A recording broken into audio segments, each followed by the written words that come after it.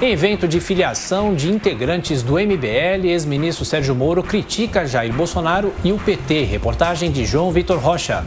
Pré-candidato à presidência da República pelo Podemos, o ex-ministro Sérgio Moro esteve presente no evento de filiação dos integrantes do MBL ao Podemos em São Paulo.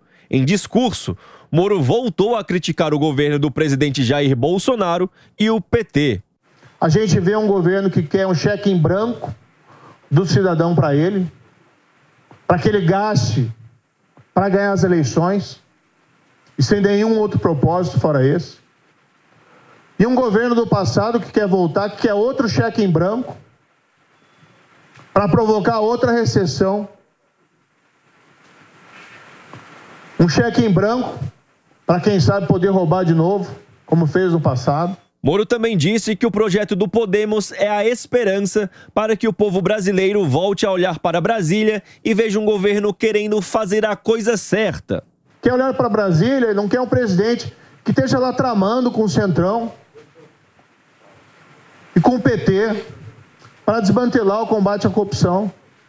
Que é isso que a gente viu nesses últimos anos. A população brasileira quer olhar lá para Brasília e ter pelo menos alguma confiança o Podemos considera o estado de São Paulo primordial para a eleição de Sérgio Moro à presidência da República pelo seu grande colégio eleitoral. E para isso, montam um palanque de peso com candidatos ao governo de estado, ao Senado e à Câmara dos Deputados.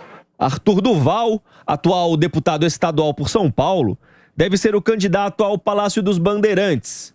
O também deputado estadual Reniose Cuquier vai buscar uma vaga no Senado. O deputado federal Kim Kataguiri tentará a reeleição. O vereador paulista Rubinho Nunes e a ativista Adelaide Oliveira também devem disputar a Câmara dos Deputados. O partido projeta uma bancada de até nove deputados federais com a chegada dos novos filiados. As movimentações políticas envolvendo o ex-juiz Sérgio Moro, girando agora os nossos comentaristas, começando por você, Cristina Grêmio, e essa aproximação de Sérgio Moro com o MBL, que teve a participação no impeachment de Dilma Rousseff lá atrás, né? Sim, bom dia, bom dia a todos. É, o MBL já vinha flertando com, com o Podemos, com o ex-ministro Sérgio Moro há muito tempo, né? E o MBL já há muito tempo que deu as costas para o governo do presidente Bolsonaro, que lá no início é, parecia apoiar. A gente sabe que o MBL perdeu muito da sua capilaridade também, ficou muito sem credibilidade perante aquelas pessoas que iam às ruas convocadas pelo MBL, entre outros movimentos, para protestar contra os governos é, do PT, tanto do, do ex-presidente Lula quanto da ex-presidente Dilma, mais especificamente na época em que a recessão ficou muito forte e foi-se às ruas para pedir o impeachment da ex-presidente Lula. Mas também havia é, convocações do MBL a favor da Lava Jato, que eram, portanto, contra o governo do ex-presidente Lula, com muita adesão popular. Atualmente, o que a gente viu mais recentemente nas convocações do MBL foi um tremendo fracasso, lembrando aquela manifestação é, de agosto, acho que do ano passado, que foi logo na sequência de uma, aliás, de setembro, né? Logo depois da, daquela grande manifestação de 7 de setembro, no dia 12 de setembro, se não me engano, junto com outros é, partidos, inclusive partidos de esquerda, esses deputados do, do MBL, que, né, do, que, são do movimento e que agora estão aí junto com o Podemos, é, não conseguiram atrair público. Então, é, o discurso do Moro é natural, ele vai se colocar contra o presidente Bolsonaro vai se colocar contra é, o ex-presidente Lula, porque ele está se apresentando como terceira via, então ele está no meio da polarização. O MBL apoiando o Moro é apenas mais um passo dessa consequente movimentação que os, que os deputados do MBL vinham fazendo já há meses. Zé Maria, qual é a força do MBL? E o ex-juiz Sérgio Moro acerta ao criticar o presidente Bolsonaro? Salve, Adriana. Bom dia a todos. Olha, o MBL, Adriana, cismou, acredita que faz chover.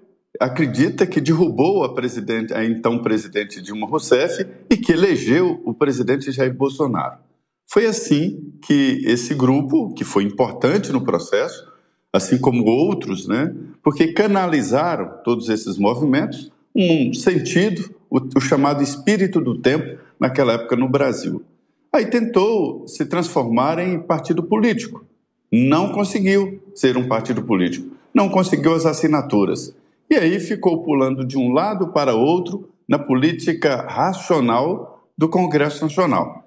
E agora, evidentemente, precisa se, é, se ajeitar aí na política.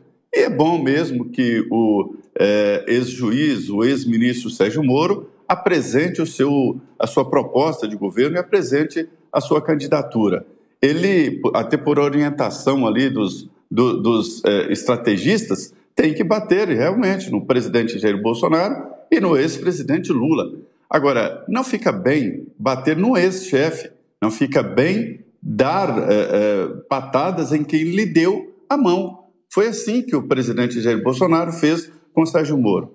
Eu sempre digo que a Lava Jato foi uma das maiores ações no Brasil. Foi quando o brasileiro passou a acreditar que realmente os poderosos poderiam ir para a cadeia. Esse é o Sérgio Moro, o Sérgio Moro juiz.